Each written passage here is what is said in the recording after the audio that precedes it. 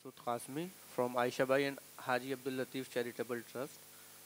Uh, मेरा एक सवाल है।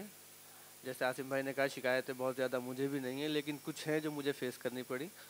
मिस शबिस्ता गफ्फार अभी एन का प्रोग्राम हुआ था जैन और फेब में आई डोंट नो एग्जैक्टली उसमें मैं खुद गया था वहाँ पर और जो आपने बात की अभी मदरसा मॉडर्नाइजेशन की कि मदरसे उसे टाई अप करते हैं उसके जो रूल्स हैं, वहाँ तक पहुँचने के वो इतने सख्त हैं कि कोई भी मदरसे वाला वहाँ पर बहुत आसानी के साथ अप्रोच नहीं कर पाता है।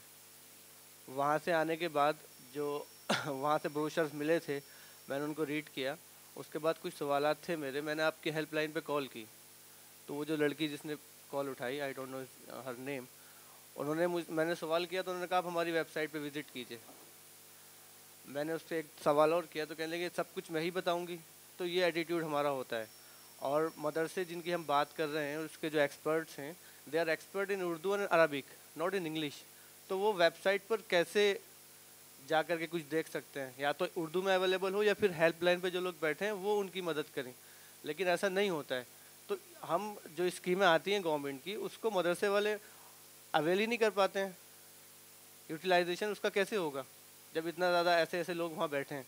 तो प्लीज़ इन सब चीज़ों को आप ठीक करें तब जाके शायद कुछ हो सकता है। दैट्स इट चाह रही हूँ आप 18 जनवरी में आए थे? जो प्रोग्राम हुआ था एन e और एन के बीच। So I was the whole जो मैंने उसको कंसीव किया उस प्रोग्राम को और उसको उसको वहाँ पे उस दिन ऑर्गेनाइज भी किया। लेकिन बदकस्मती कि I am myself following that programme मैं अपने कमीशन में उन एप्लीकेशन को बुला रही हूँ कि आप यहाँ भेज दीजिए, आदमी रखा है, जो जो आपको उसमें डाउट्स है, आपको क्या क्या करना है, उसके बाद मैं अपनी लेटर हेड लगा के उसको रेकमेंड कर रही हूँ। और वहाँ पे जो आज वहाँ पे डायरेक्टर है, हम इतने क्लोजली उसको फॉलो कर रहे हैं कि within three months of period उसका इंस्पेक्शन हो जाए, सब कुछ हो जाए। लेकिन अनफॉर्चुनेटली अगर कोई मतलब अगर आप जिस संस्था की बात कर रहे हैं शायद I have been there last year उसमें वहाँ पे at least the people are computer literate देखिए छोटे एक्सक्यूज़ कि हमें नहीं आता है या वेबसाइट पे नहीं है तो दैट्स अ स्मॉल एक्सक्यूज वो उनके लिए हैं those who are totally layman with the information technology actually actually maximum ऐसा ही है।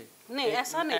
नहीं अगर आपने वहाँ पे किसी को कॉल किया है और मैंने वहाँ पे आपने मुझे सुना होगा I gave my own number मैंने वहाँ पे अपना पर्सनल मोबाइल नंबर दिया। आप मुझे कांटेक्ट कीजिए जो भी प्रॉब्लम्स होगी because I was interesting in that program कि हमें ड्रॉप आउट को किसी भी तरीके से केटर करना है। Because there is M O U signed between N C M E I and N O I S मैं उसकी नोडल एजेंसी हूँ।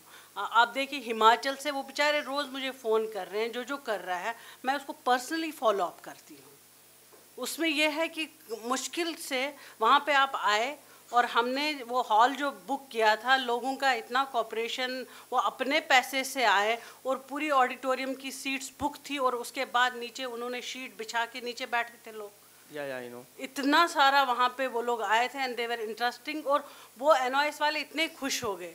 लेकिन ठीक है लोग अपना टाइम सबसे बड़ा मैटर uh, करता है आजकल के ज़माने में। नहीं मैडम मैं सिर्फ़ ये कह रहा हूँ वो जो आपको जो हेल्प चाहिए अगर कोई कंफ्यूजन है नहीं तो फिर आप, आप पर्सनली मुझे बताइए I will help listen listen या आपको आप जस्ट ऐसा कीजिए वहाँ हेल्प लाइन की जगह आप अपना नंबर डाल दीजिए ब्रोशर्स पे क्योंकि लोग वही मैक्सिमम लोगों के पास वही पहुँचता है मैम ये आपको just you have to submit the form that's not a big deal आप वहाँ पे जाइए आपको वो लोग हेल्प करते हैं अदरवाइज़ भी। मैडम वो तो बहुत आगे की बात कर रही हैं आप सबमिट ईमेल कर सकते हैं मैंने अपने मैंने खुद मैं, भी मैं लोगों को मदद कर मैं वही कह रहा हूँ आपको पर्सनली करवाना है बिकॉज़ मैं अपनी बात नहीं कर रहा हूँ मैं अपनी बात नहीं कर रहा हूँ मैं किसी मदरसे से अगर जो भी लोग यहाँ पे बैठे हैं अगर somebody is interesting एनॉइस के लिए I will help that's my problem doctor Zeenat thank you so much my name is Zina Shaukat Ali. I teach Islamic studies Saint Xavier's college you know मेरे दो तीन issues थे.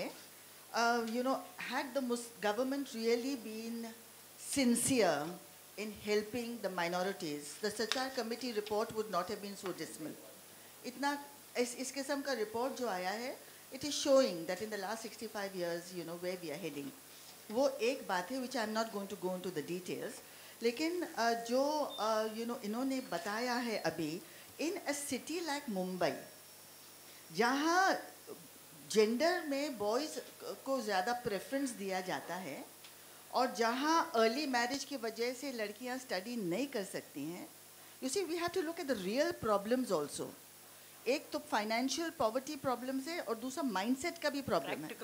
The practical problems of girls education तो यहाँ जो है वो early marriages जो है जो हो जाती हैं जो इन्होंने बताया और दूसरा जो है, वो जेंडर जब आता है, और आपने भी बताया जहाँ लड़कियों के एजुकेशन का सवाल है तो झिझक होती है और ड्रॉप आउट्स बहुत सारे हो जाते हैं।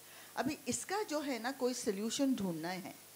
इसका कोई सोल्यूशन आना बहुत ज़रूरी है कि ये लड़कियों को इनक्रेजेंट in you know they should be increased और और ये जो है जो मदरसा एजुकेशन की बात कर रहे हैं I think there are only four percent of people of people who study in madrasa according to Sachar committee report I've got it here in the in a paper that I've written on education.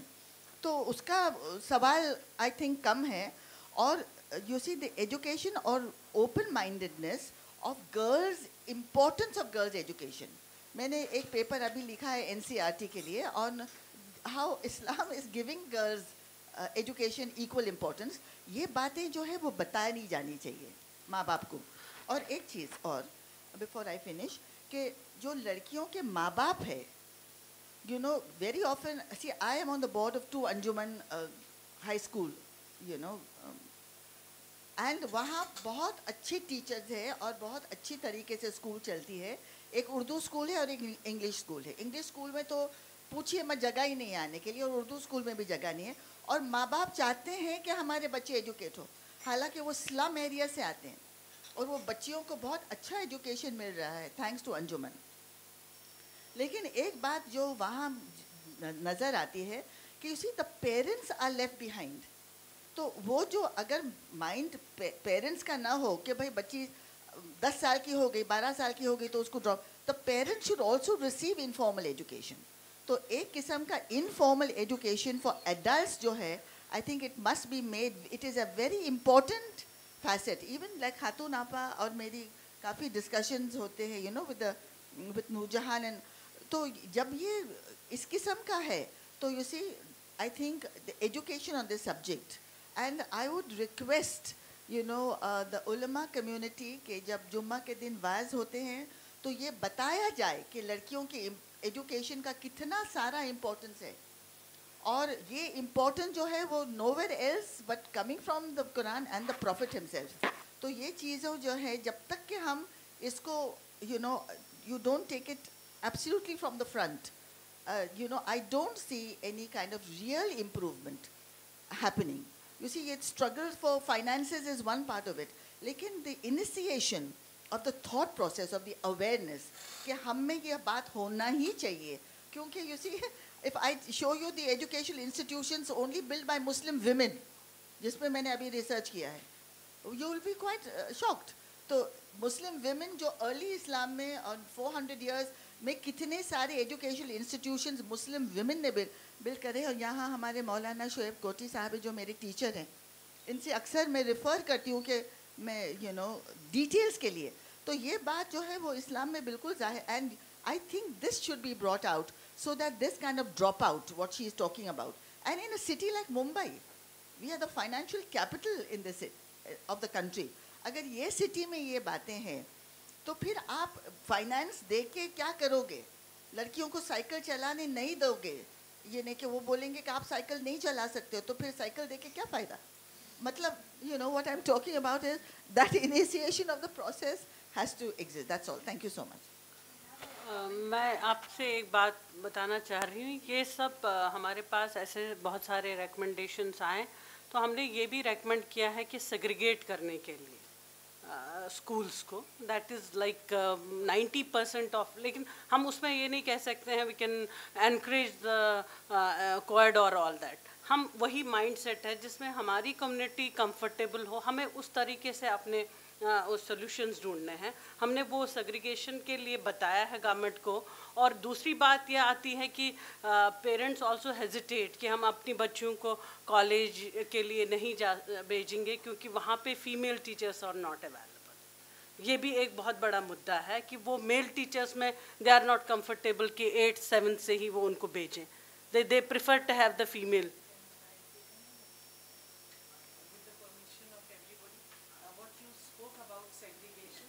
15 years back, we had done an analysis of why students are dropping out after the 12th standard. And that analysis and study अच्छा एक हमने 15 साल पहले हमने एक study करवाई और उसकी स्टैटिस्टिक्स निकली कि लड़कियाँ क्यों ड्रॉप आउट हो जाती हैं ग्यारहवीं के बाद बारहवीं के बाद और हायर एजुकेशन में नहीं आती हैं तो उसमें माँ बाप की तरफ़ से जो इनपुट आया वो ये था कि हम चाहते नहीं हैं कि ये को एजुकेशन में पढ़ें।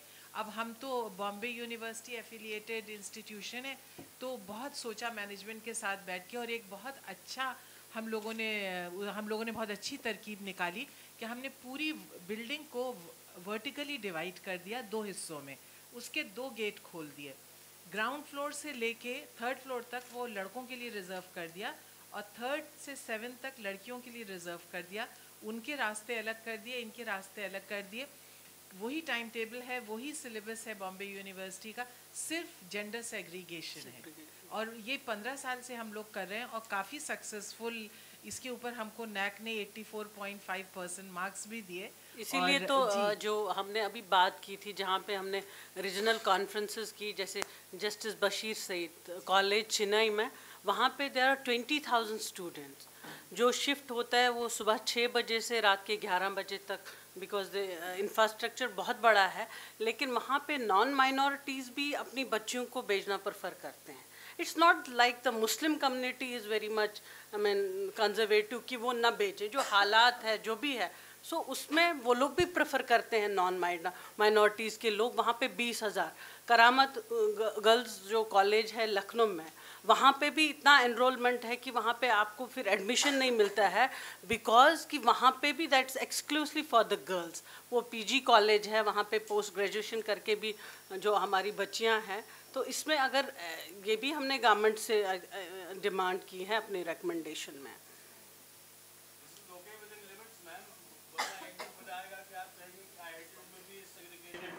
वो फिर बाद में उनमें एक चीज़ होता है this will not become the policy लेकिन जहाँ तक एक, देखिए, हमारी मुसलमान बच्चियाँ, आज यूएस में कनाडा में अमेरिका में कहाँ कहाँ पर्दे में नहीं पड़ती। हमारे भाई अभी कह रहे थे, जैसे I have been to Malaysia I have seen in Indonesia वहाँ पे ये अभी साइकिल की बात, वो तो वहाँ पे आप जो बस रूट बहुत कम लेते हैं लोग।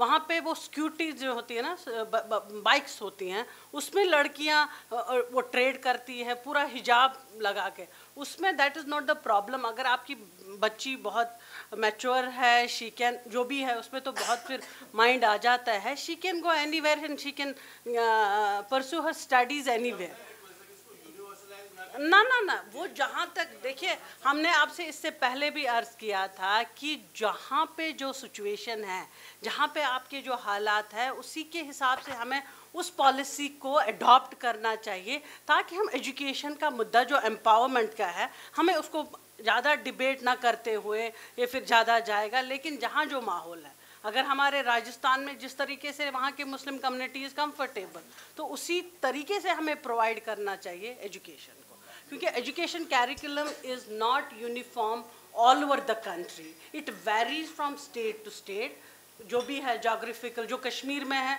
वो आपके दिल्ली में नहीं है वो बिहार में नहीं है it differs from place to place Dr. Fazil Boy, I'd like a comment from you, and we would wrap up this session and uh, begin the next session, which is how can NGOs bridge the gap between the government and uh, the society, which is related to what we've been discussing. Yeah.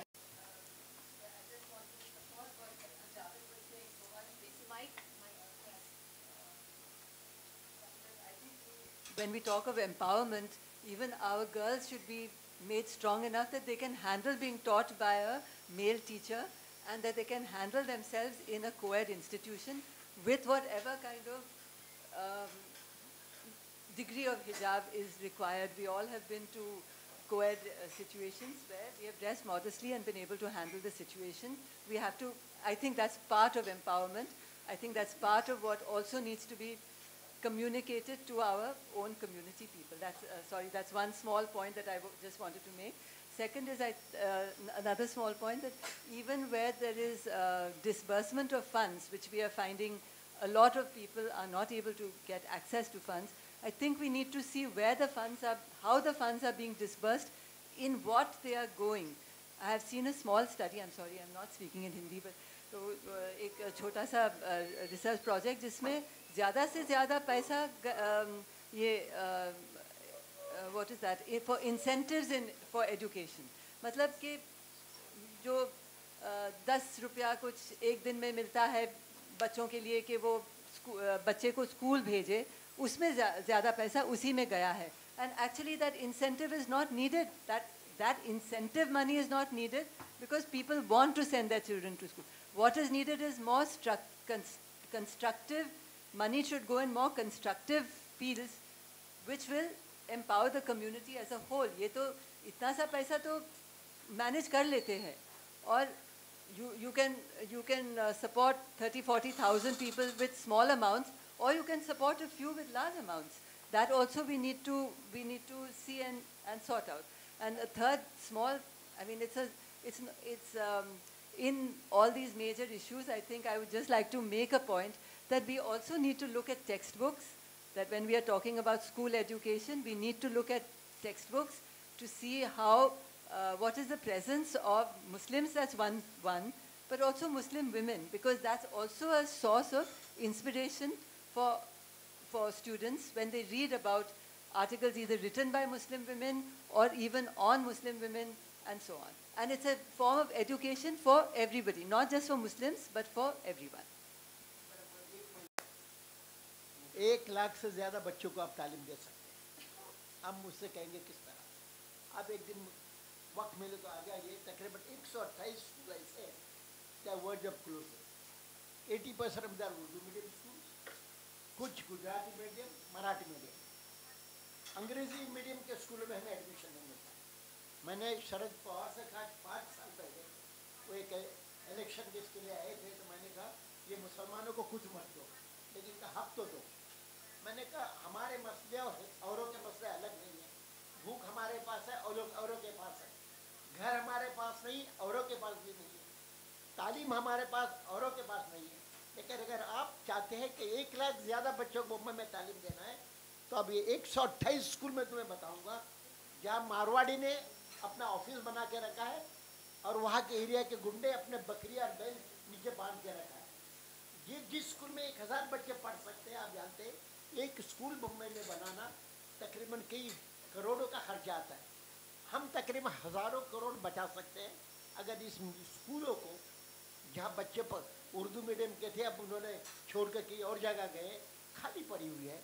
अगर उसको English medium बना देते हैं, जहाँ उर्दू है, Urdu compulsory रखते हैं, और चूँकि मराठी इस शहर की, इस महाराष्ट्र की ज़बान है हम इसको मराठी कंपलसरी रख दें।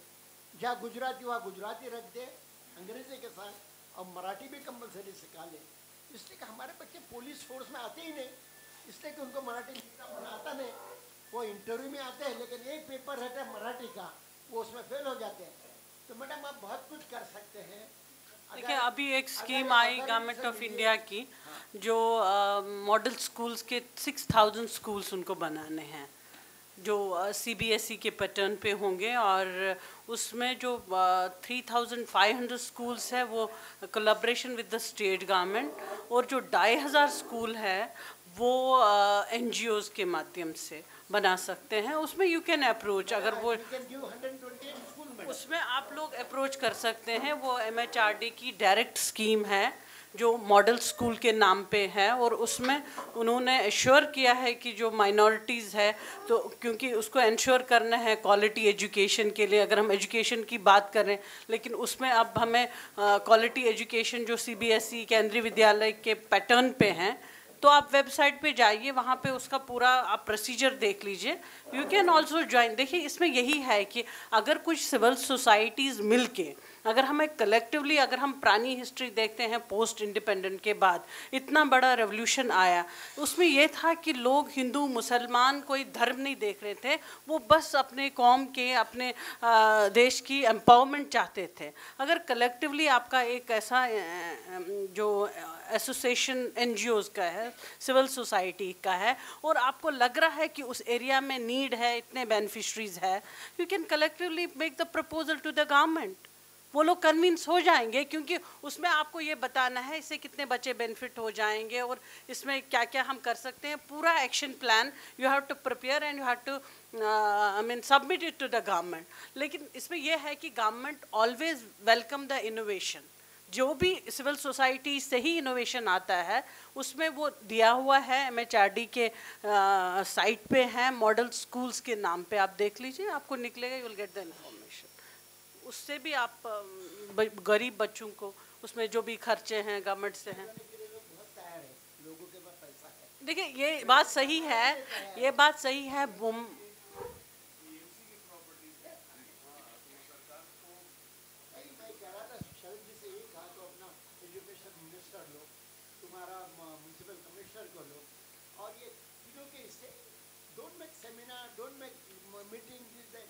मुंबई शहर में लैंड मिलना इज़ वेरी डिफ़िकल्ट लेकिन जो एग्जिस्टिंग आपके पास अवेलेबल लैंड है you should also try for that अगर आप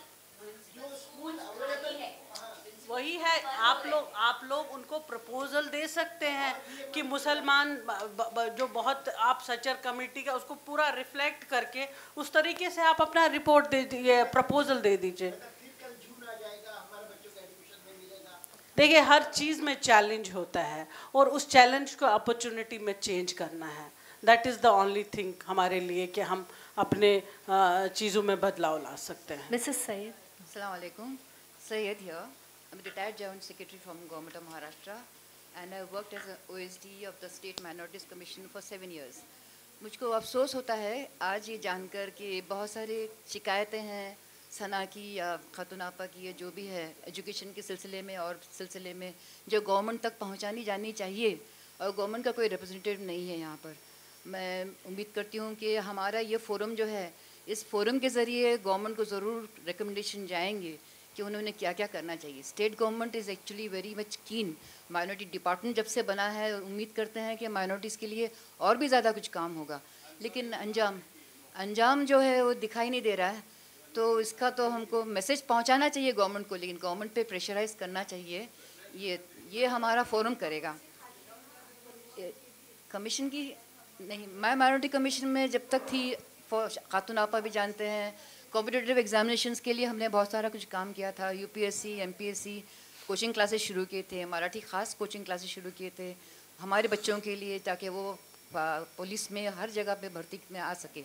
अब ये इनका जो कहना है कि स्कॉलरशिप के फॉर्म भरे, पहुँचे नहीं या स्कॉलरशिप मिला नहीं, इसके लिए भी मुझको मेरा ख्याल है कि आपके फोरम के ज़रिए गवर्नमेंट को एक रिड्रेसल सेल बनाने के लिए ज़ोर देना चाहिए। चाहे जो भी शिकायतें हैं हमारी, जैसे गरीब बच्चे जो हैं, उनको अगर कुछ मिलता नहीं है तो वो कहाँ जाएँगे? ये इनकी शिकायत रहेगी यहाँ पर? आगे गवर्नमेंट तक तो मैसेज पहुँचना चाहिए कि इतनी सारी सुविधा, इतनी सारे फंड्स होने के बावजूद भी मुस्लिम बच्चों तक अगर पहुँचता नहीं है, कुछ तो फ़ायदा क्या उसका? सचर कमेटी ने इतने सारे रिकमेंडेशन किए, लेकिन रिकमेंडेशन का इम्प्लीमेंटेशन कहाँ तक हुआ? इसका भी कुछ एक मॉनिटरिंग सेल होना चाहिए। इनफैक्ट सचर कमेटी ने खुद कहा है कि इवेल्यूशन कमेटी बनाई जाए।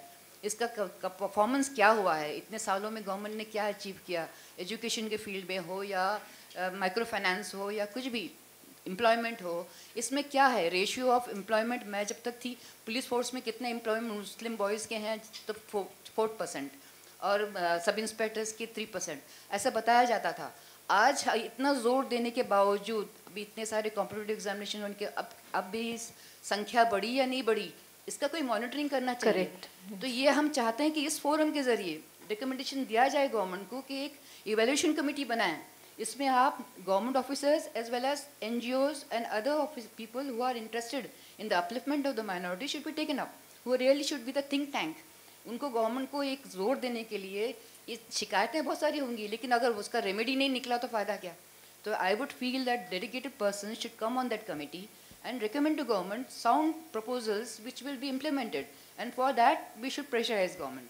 ये मेरा कहना है। धन्यवाद मिसेस सैयद हम ज़रूर आपकी बात पहुंचाएँगे। अब now last comment from Noor and we'll move to the next session जिनकी बात रह गई है वो अगले सेशन में भी बोल सकते हैं क्योंकि काफ़ी इंटर रिलेटेड सब्जेक्ट्स पे हैं और उज़मा जी काफ़ी एक्सपीरियंस्ड हैं इस बात पर। I am sure she will be able to draw all of your opinions in the next session over to you Noor मैं अपनी तरफ़ से दो सजेशंस रखने के बाद ये सेशन से क्या निकल के आया है वो आपके सामने रखूँगी।